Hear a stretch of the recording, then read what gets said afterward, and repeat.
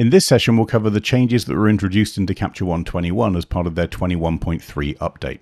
Now, if you own a perpetual license of version 21, then this is a free update for you. Equally, if you're on the subscription model, then you can just go to CaptureOne.com and download the latest version. This version, if you go to the About screen in Capture One, it's actually going to say it's version 14.3. That is the same as version 21.3. If it says that, you're running the latest copy. Now, in here are a couple of brand new features, but you're also going to find a couple of things that have been changed under the hood. We'll cover all of those in this session, but we're going to start with the first feature, which is Magic Brush. Now, for a long time, when we've come to masking areas such as this, we've been able to refine how we mask things by choosing either a color range in our color editor, so we could choose this blue here and then create a mask layer from that selection. Or we could take an existing mask and say, actually, out of that mask, I only want to identify and, and store in that mask certain ranges of brightness or luminosity using the Luma range. Well, in 21.3, they've introduced a new feature called Magic Brush. And the Magic Brush is almost like a hybrid of those plus some extra bits. And what it allows us to do is to select similar pixels, whether that's based on brightness or color or, or whether they're uh, neighboring pixels, with some options to hopefully make creating masks around quite complex objects and, and subjects a lot easier. Now, in order to accommodate for Magic Brush in this toolbox here, unfortunately there's a few changes to the interface which you're going to have to get used to. So the first is that the layer, add and remove function has moved from down here on the bottom left to up here just above the other tools. The second is the mask visibility tool has moved up to the top here above the viewer rather than being on the layer itself. So with those changes done, it means that there's extra space for the magic brush. And the magic brush itself, you just click on here and you're going to get something that looks very similar to a normal brush setting. But if I right click on the magic brush, I'm going to get these different variables that I can set. So the first is size and opacity. Obviously, we're used to those, so how big and, and how opaque the, uh, the mask that I'm drawing is going to be. But the next is tolerance. So tolerance dictates effectively how similar the neighboring pixel needs to be in order to be included in the, the range that we're painting. And the next one is the refine edge, and we'll come on to that in a bit more detail later on. But effectively, now as part of Magic Brush, with every brush stroke, I've got the ability to have a different edge refinement based on what I'm actually painting. And then on top of all of those, we've got this sort of master variable here, which is sample entire photo, which we'll cover in a second. So let's imagine we want to choose this sky. Well, with our new magic brush function, I'm going to choose a relatively low tolerance.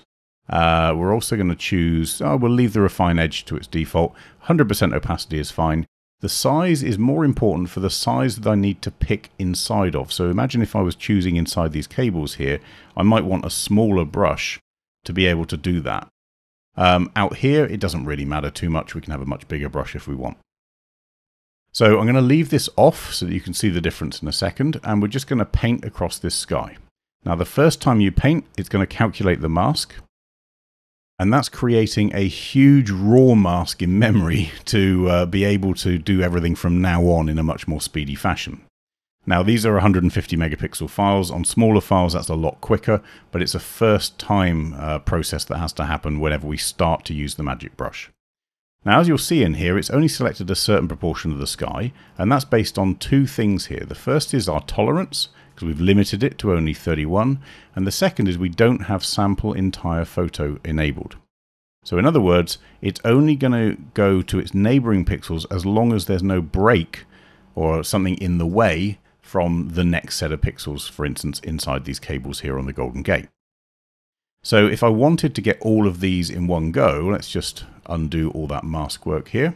And this time I'm going to choose sample entire photo. I'm going to leave my tolerance where it is and the refine edge where it is. I'm going to choose the same sky. And this time, with that tolerance, yes, it's stopped here because there's a difference between these pixels and up here. It was quite a big difference in, in brightness. But it has masked inside our cables here. And this softness around the cables is down to this refine edge that we've got in our mask settings here. So if I wanted to include more of the stuff inside the cables, well, we just go back to our magic brush, click into here, and it's going to start doing that. But you're also going to find that not only is it including the stuff inside the cables which matches the sky, it's also picking up down here on the water because that's a very similar color as well. And with our tolerance set to a relatively high amount, it means that it's able to spill out over certain areas too. So overall, be careful with the subjects that you're choosing. This mask effectively works in exactly the same way as any other mask. I can go into the eraser and I can remove the stuff that I don't want but it's an additive tool. So Magic Brush at the moment can only add to an existing mask or its own mask it will not erase. You don't have a minus magic brush function as it stands right now. One thing to bear in mind, if at the moment we're, we're painting on an existing adjustment layer, if I didn't have an adjustment layer and I chose my magic brush, it will automatically create a brand new brush layer for me too. So what if we wanted to be a little more accurate in terms of this mask? Well, let's clear this mask down. And I'm going to decide, because I don't want to actually sample the entire photo, um, we just want to sample the area in front of me. And I'm going to choose to increase our tolerance a little bit and choose our Golden Gate Bridge. And you'll see that by using this additive brush, we're adding and adding and adding to our mask each time to increase our selection. If it goes wrong here, well, we can just undo that step. So Command Z or, or press the undo button, and you're going to get to a pretty accurate mask pretty quickly through using the magic brush function. So as long as I stay to the iron work, um, we're able to do that. Now one advantage here is, unlike with a Luma range or a color selection, Magic Brush doesn't actually care what color you're choosing. What it's looking for is similarity. Now it's using color and it's using luminosity to determine that. But you can see here selections that I couldn't have made with a color selector if I turn my mask off you know, we've got whites, we've got reds, we've got yellows, we've got everything in here. I couldn't do it with that. I couldn't do it with a Luma range because my luminosity is very similar between these areas, but Magic Brush is able to identify the areas that need to be selected because they're similar to the area that I've chosen. So that's in terms of our overall photo or, or uh, not allowing uh, Magic Brush to spill out across the entire photo here. What about the refine edge? So let's have a look at this example down here. One thing you've always been able to do with any mask, of course, is to use the refine mask function here on the layer. So let's just draw with our magic brush now. Um, we're going to say not sample entire photo. We're going to leave the tolerance, well, relatively high actually, and put a reasonable size on. And I'm just going to draw across the sky. You saw very quickly that auto mask uh, function came up, and what it's doing is it's just working out a mask map for this image so that everything I do from now on is a lot quicker. Now this was too much, we can see, because it's covered some of the, uh, the rock face as well. So I'm going to undo that, and I'm going to change my tolerance down, and we're going to do the same drawing across there. A much better mask. And as I draw across these areas here and expand on that area, I get a nice clean setup around these rocks, these mountains, um, and the trees and so on. But let's have a look up here at these trees. And we can see in here that the trees have got a little bit of a jagged edge. Now this was always what Refine Edge was for. So I can go into here, go to Refine Mask, and I can soften the edge or using the radius from very binary to very soft and using similar edges um, or, or similar tones and so on either side of that mask area. But with Magic Brush, I don't have to do it at a global level. I can actually do it at an individual stroke level. So with that area up there masked, and what we had was a relatively low refine edge of 16, let's have a look at maybe these parts in the foreground here. Let's just lift up our, uh, our foreground so we can see it a bit clearer. So with our magic brush, I can choose this area here of grass on a rock and we're going to leave our tolerance quite low and we're going to leave our refine edge relatively low too and I'm just going to draw a nice little mask across there. I'm going to turn on, well in fact we've already got it, but if I wanted to turn on the mask, remember we've got to look up here now instead of down here to see it. And we can see that that's got a relatively broad spread because of those two variables, tolerance and refine edge have allowed the mask to spill out and cover a lot more area.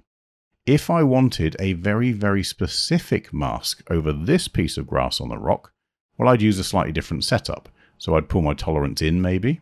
But if I bring my refine edge to be a lot, lot sharper and draw, you're going to see it's a lot more digital, a lot more binary. We don't have those sort of soft fall-offs here. We have a very binary on or off um, effect on this, this mask itself. And if I change my mask to show us the grayscale mask instead, we can see that difference of an edge which has been refined and an edge which has been unrefined or very sharpened um, from the point that it was drawn. So this new feature in, in terms of Magic Brush has, rather ironically, a bit of a byproduct which can be very interesting for us. Historically, the refine mask function was only at an entire layer level. So we'd go to refine mask and we'd take the entire layer and we'd have a mask that was refined on its edges and feathered based on the entire layer property. Well, instead now, I can actually have, let's go into our magic brush here on this tree and put a really soft edge on this tree and draw just across these colors here. Great. Now let's look at my grayscale mask.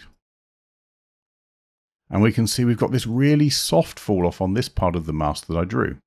So in the same layer with that magic brush, I've got some areas up here which are the default um, refine edge. We've got an area here which is a bit softer, an area here which is very binary, a lot harder, and an area here which is very, very soft. And all of them were done at an individual brushstroke level rather than being done as an overall layer. So overall, Magic Brush is going to help some people in terms of what they um, what they, they struggle with in terms of masking, especially around some complex objects. It does allow us to have some great variables in terms of one area of the mask being very sharp and very defined, one area being softer, one area being very soft and falling off. There are some limitations. So, as I said already, we can't erase very, um, very magically. let's, let's put it that way from the mask. It's an additive tool. We can only add to it using the magic brush. If I erase, we're back to the standard eraser, which is just a very blunt tool just to erase any stuff that we don't want. So the magic brush itself is additive. It's intelligent in terms of it's able to know whether you want to sample the entire photograph or whether you want to change um, an individual area, for instance, in our Golden Gate shot here. And it's got the ability on each brush stroke to have a different effect applied in terms of its edges and its tolerance. So we've drawn our masks, we've uh, made some changes to our picture. Um, let's say we want to export it. Now, traditionally we'd go up here on the top left and there used to be a cogwheel there for process recipes. This is actually quite confusing to a lot of people because there were several ways of exporting an image. You could right click and go to export and then you could choose some settings here. You could click on the export button up here or you could click on the process recipe up here which was effectively our soft proofing function at all times within Capture One. All of that lot, all of those functions have now been combined into one area which is the new export tool. So whether you go here to your export function or click up here, you're going to get to the same place, which is the new export images tool. Now in here, those of you that are used to seeing export recipes or process recipes, you're going to find this very, very, very similar. So the process recipes themselves, they haven't moved. Um, the defaults are in there. If you've deleted any by accident, you can hold down on the plus button and you can put in the, the built-in recipes um, back to where they were before. But the process recipes used to confuse a lot of people because, yes, it was really useful for soft proofing. For example, I could see exactly what was going to come out if I went to a grayscale output um, based on the ICC profile. But it also confused people in terms of these locations, the subfolders, the what to do with existing files because we weren't able to necessarily add or, or overwrite. So that's all been refined into one big dialog box now with the process recipes and the export functions. Very similar to our import function in terms of its, its viewer layout, but in a much more simplified way. So we still have process recipes. I can choose these and it's going to automatically fill in the options and variables that I chose for my format, the size, how the image is going to be named but the location and naming have now been massively simplified from where they used to be with all of the tokens and and per um, image naming and, and so on. Every single location now is linked to the recipe itself, and the naming structure has got a lot more simple. So let me show you. When you first go into the export viewer, you're going to find that this folder here is empty and it says choose. That's because we haven't set a default folder, and this is now the root folder for all exports based on not choosing anything different. So if I choose this as my export folder, This now, because I've set it as my primary folder, is going to apply to every recipe that didn't have a folder set. If I decide to change my mind in terms of where that default is going to be, well, I can click on this little one with a cogwheel and it'll ask me, do I want to change the default output folder? But I don't have to stick with the default folder for each of these recipes. I can say same as original file or choose folder. So I could choose, in this case, maybe an Asia folder, and that's going to apply to only this recipe.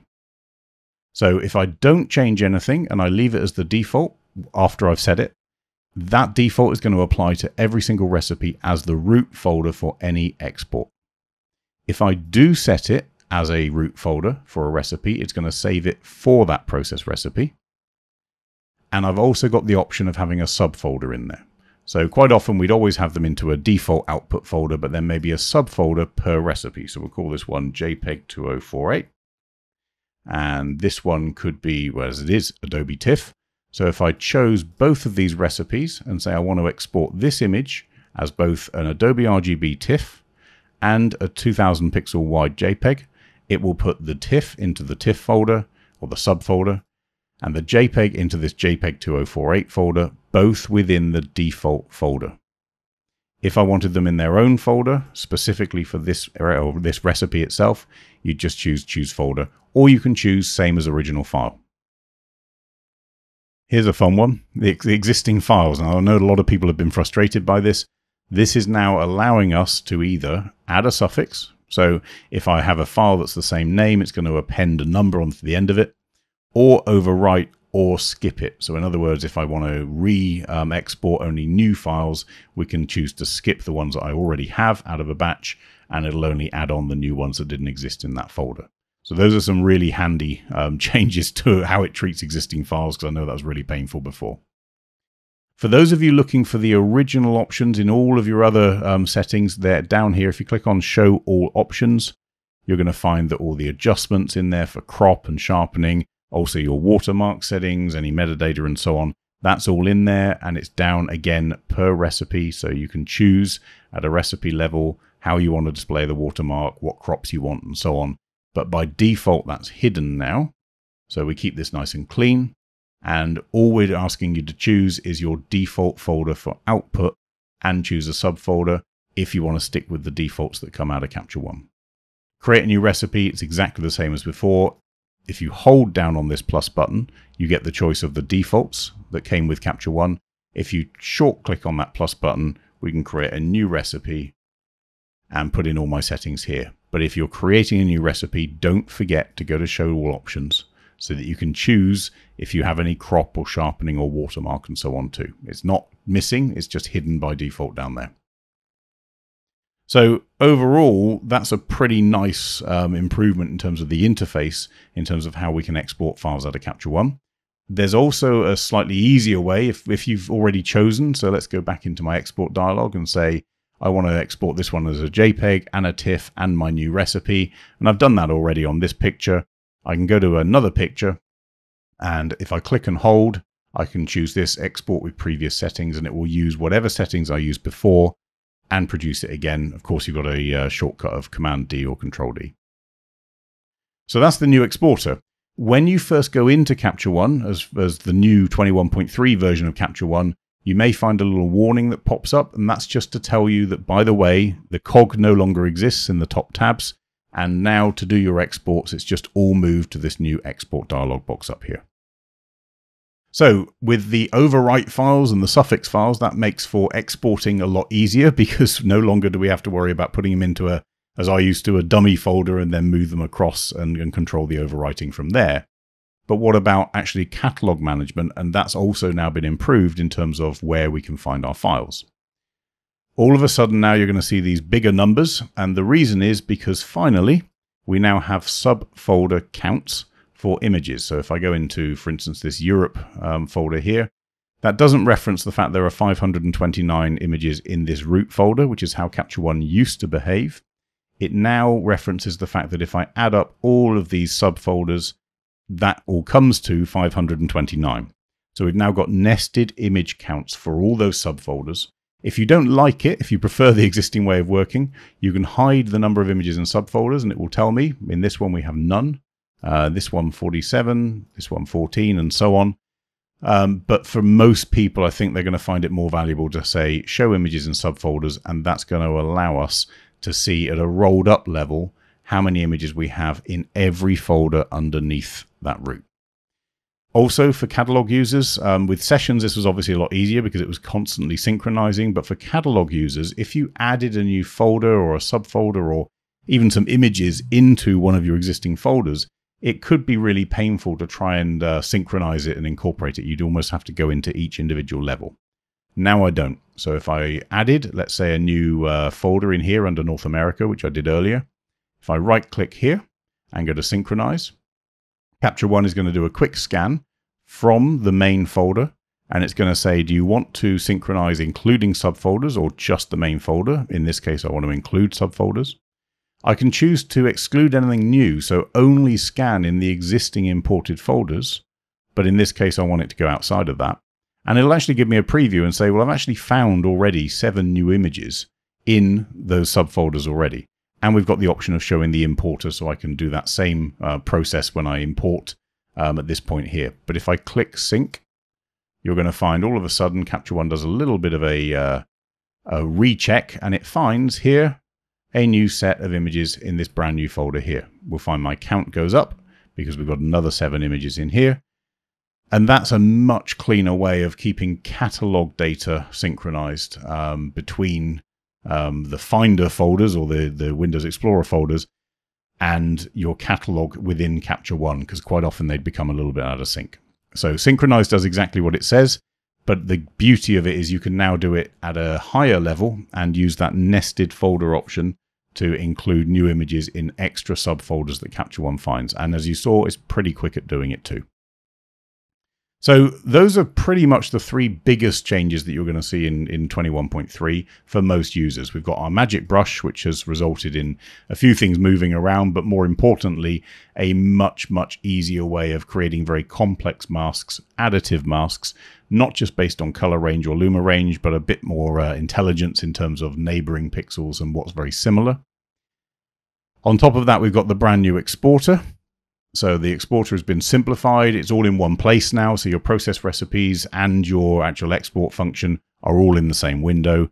And we've still kept all of the existing um, flexibility that you had before, but it's just in a much neater sp- space um, on your screen. And we've now got the, if you're using catalogs, the ability to have a folder hierarchy that's nested in terms of its image count and the ability to synchronize multiple subfolders at the same time, which saves a lot of time.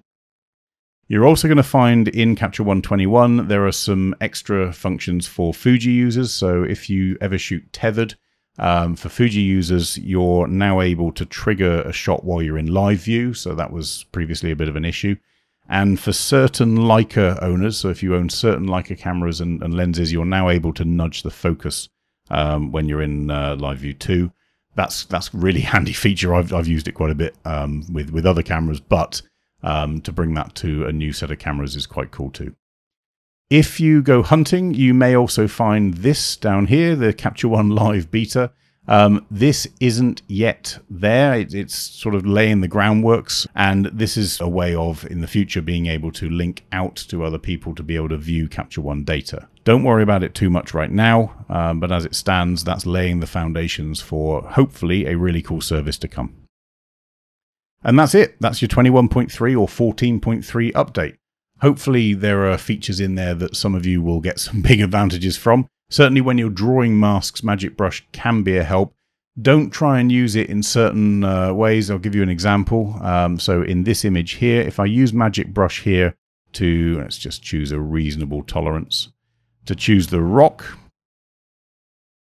it's going to do a pretty good job. An additive, obviously, I can add to that mask and add some more and add some more.